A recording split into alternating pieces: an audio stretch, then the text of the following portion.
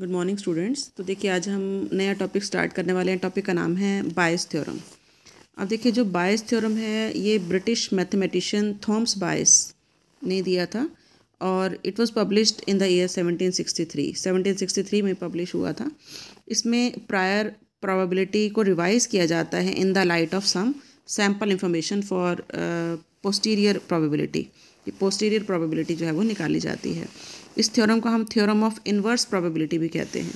अब देखिए ये इसका फॉर्मूला है निकालने का probability of A one given B मतलब यू वांट कि B comes from A one कि बी जो है वो ए वन से आए तो उसके लिए हम क्या करते हैं? Probability of A one multiplied by probability of B given A two A one sorry A one divided by probability of A one multiplied by probability of B given A one plus probability of A two multiplied by probability of B given A two मतलब what you want वो ऊपर आएगा और total number of equally likely cases नीचे आएँगे।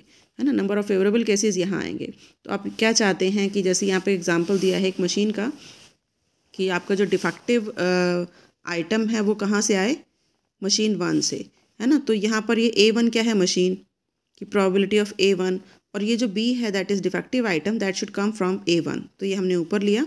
और नीचे लिया दोनों का total similarly if you want कि it should come from A two तो फिर फॉर्मूला ये हो जाएगा. ए टू ऊपर हो जाएगा और ए वन और ए टू का जो टोटल है वो नीचे हो जाएगा.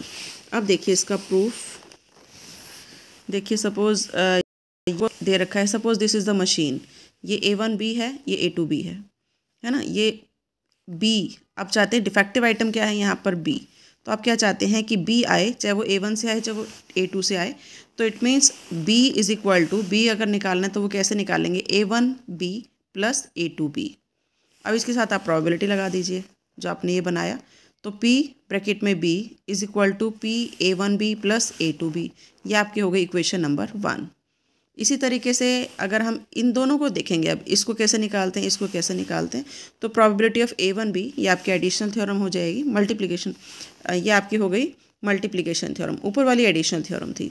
तो अगर ए वन बी निकालना है सिंपल अगर ये इवेंट हमारे इंडिपेंडेंट होते तो आपका हो जाता probability of A one multiplied by probability of B है ना? लेकिन ये हमारे क्या है डिपेंडेंट इवेंट तो हम क्या कहेंगे probability of A one multiplied by probability of B given A one है ना? डिपेंडेंट इवेंट में यही होता है तो ये आपकी इक्वेशन टू बन गई।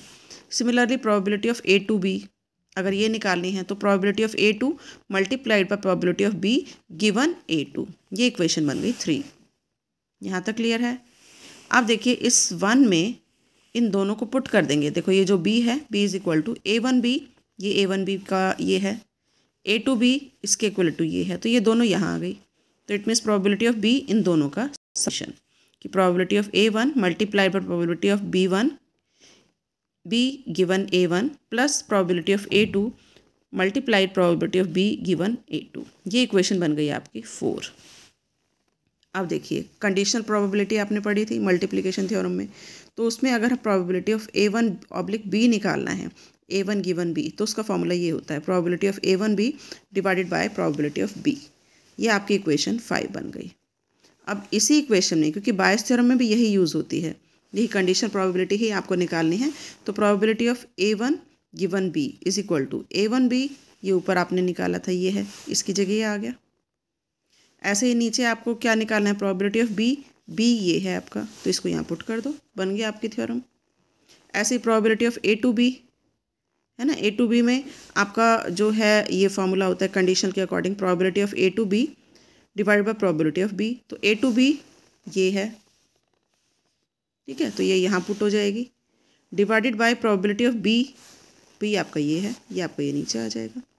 तो ये आपकी प्रोबेबिलिटी की जो बायस थ्योरम है, ये आपकी प्रूव हो गई।